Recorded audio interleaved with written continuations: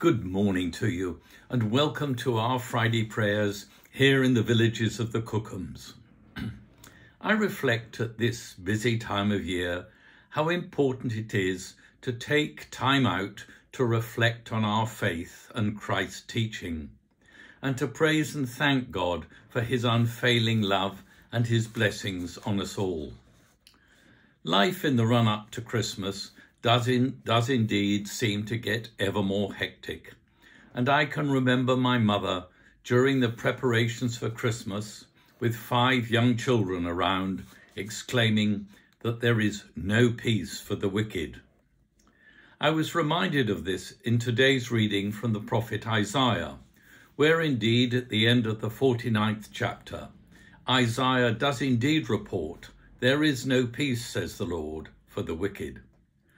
Of course, that is but one of a great number of well-known phrases or sayings which have their source in the Bible, something not widely known, I fear.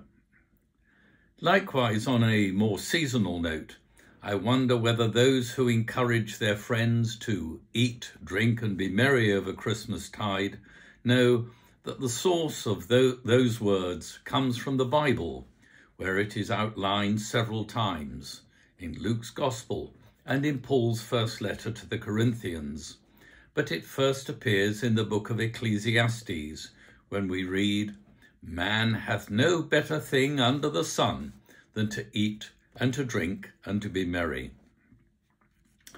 Our reading today comes from Matthew's 11th chapter, and he reports Christ's words, which equally are often echoed today. Jesus said, but to what will I compare this generation? It is like children sitting in the marketplaces and calling to one another. We played the flute for you and you did not dance. We wailed and you did not mourn. For John came neither eating nor drinking, and they say he has a demon. The Son of Man came eating and drinking, and they say, Look, a glutton and a drunkard, a friend of tax collectors and sinners.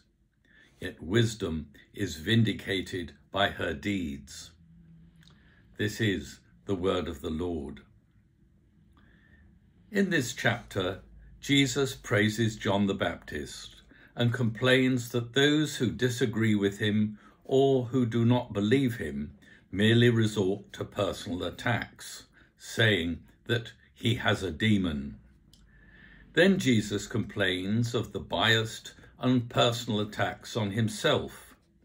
He cites those who oppose him and describe him as a glutton and a drunkard, a friend of tax collectors and sinners, because he associates with those who would listen, who were willing to learn, uh, and who did not allow prejudice or hate to cloud their judgment. Bringing that story right up to the present day, how often do we, how often do politicians, for example, make personal attacks on others instead of challenging and debating their views and actions? It is usually sign of a poor critic if personal attacks are used to try to justify an argument. We should surely heed Christ's words and be judged by what we do rather than just by what we say. Amen. And so let us pray. Almighty God, help us when we are confronted by those who offend or harm us or sin against us. Help us to contain our anger and to resist the urge to take revenge. Help us to seek the truth and to deal compassionately with those who wander from the truth. Help us to forgive and not to condemn or judge, but rather to serve you and others with love and compassion, following Christ's example. And we ask this in his name. Amen.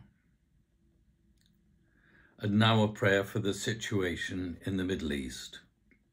Spirit of the living God, come afresh to your holy land. Help your people to restore broken relationships Give them patience to break down barriers of suspicion and mistrust. ability to discern personal prejudices, and the courage to overcome fear. Teach them to respect each other's integrity and rights, so that your kingdom may be established on earth. And we ask this in the name of Jesus, the Prince of Peace. Amen. And so, using the words that Jesus taught us, let us pray together. Our Father, who art in heaven, hallowed be thy name. Thy kingdom come, thy will be done, on earth as it is in heaven. Give us this day our daily bread, and forgive us our trespasses, as we forgive those who trespass against us. And lead us not into temptation, but deliver us from evil. For thine is the kingdom, the power, and the glory, for ever and ever. Amen. And so, as we close for today, let's say the grace together. The grace of our Lord Jesus Christ, and the love of God, and the fellowship of the Holy Spirit be with us all, now and for evermore. Amen. And so, farewell for now, and in this troubled world, let's reflect on the old proverb that the darkest hour always comes just before the new dawn. Farewell.